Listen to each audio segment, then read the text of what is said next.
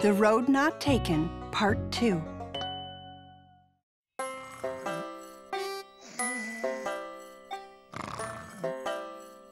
Chirp and Quack are meeting once again to exercise. And once again, the exercise isn't happening. I can't believe Peep is late. Quack, wake up! I'm talking to you. Hey, what? I- Is Peep here? No, can you believe it? If it's true, I believe it because it doesn't make sense to not believe something that's true. I'm here. Whoa! Quack. Oh. Whoa! Are you sure that's not exercise? It sure looks like it. Peep, you're late again. I can't believe it. I believe it because it's true. All you had to do was follow the helpful yarn path. But that's why I'm late. The path is gone. Look. Where'd it go? They'll never find out where it went, but I can tell you. Earlier, while Peep was asleep in his can, a certain beaver boy was searching for sticks to stick in the family dam. Sticks, twigs, sticks, twigs, twigs, sticks. Ooh. I found a bendy stick that will make a good dam stuffing.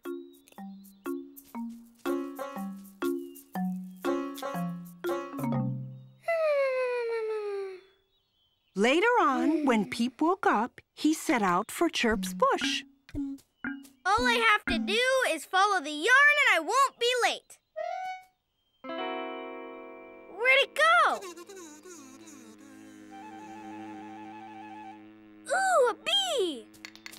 Since Peep couldn't follow the yarn path, he followed the bee instead, and that's why he was late. Hmm. Maybe it blew away. Yarn is very light and blowy. Even though I love yarn, I must admit it's just not reliable. So what would make a better path? Hmm. Something that feels good under duck feet because happy feet makes happy ducks. Right. And something that looks good because it leads to my home. The best place to find stuff was Chirp's collection collection, which is her collection of collections. Everything they chose looked good and felt good on duck feet. This is going to be the best path anyone ever saw.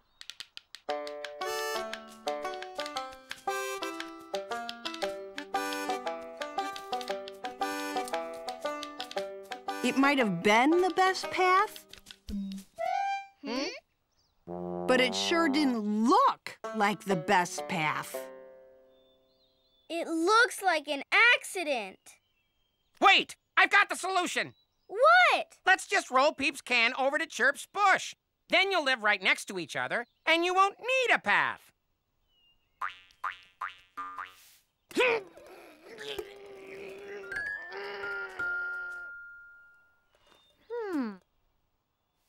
To push as soon as you get here.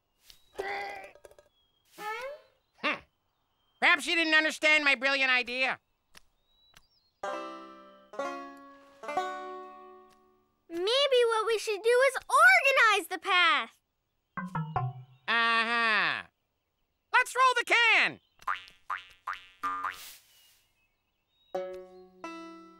Hmm? If we make our path in a pattern, maybe it won't look like an accident.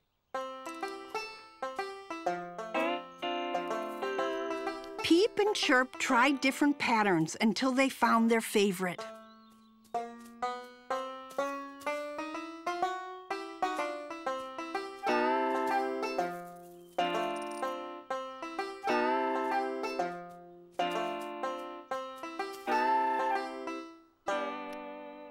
I say no to this one because you can get lost without even going anywhere. This one's my favorite. I like it too. Me too. So we all agree our pattern is yellow, blue, purple, red, and a bottle cap. Yeah! Yellow, blue, purple, red, and a bottle cap. Yellow, blue,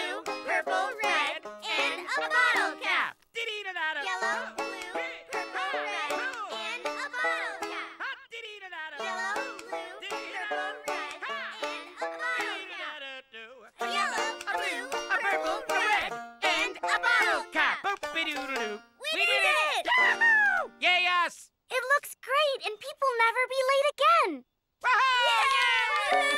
Did it! I was great. They even tested a way to get Peep down the path extra fast. You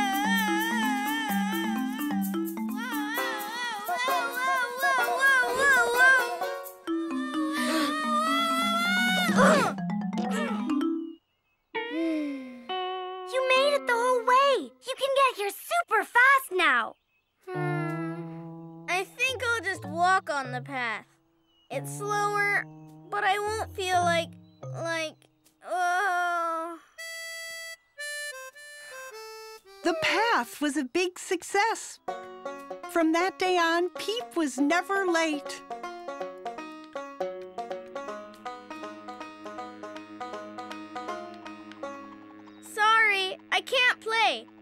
To stay on the path. Bye. No more wandering off, no more following bees. Peep went straight to Chirp's place every day.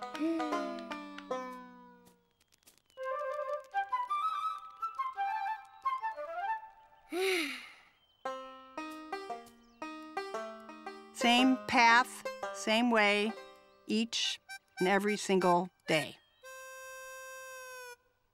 Peep! Right on time again. Yeah. Hi. Have you noticed a change in Peep? yeah, he's always on time. I heard a weird frog sound. I didn't see it. It was far away. I didn't want to leave the path.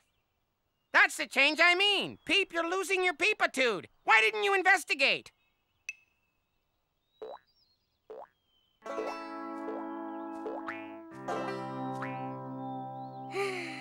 We built the path so I'd be on time, and now every day is the same. Hmm. Peep's life has become a repeating pattern. I did not see this coming. The path is supposed to make things better, not worse. If you need to go run off and discover, then do it, Peep.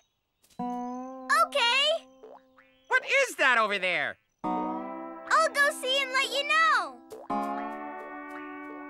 We're going to spend a lot of time just waiting around for Peep, I guess. Guys, you want to come too? Yes! What is that? Looks like a, a frog and a bunny on a trampoline. Oh, I wish I could go see it. I mean, when does the narrator get to run around? All I ever do is narrate. Have fun, guys.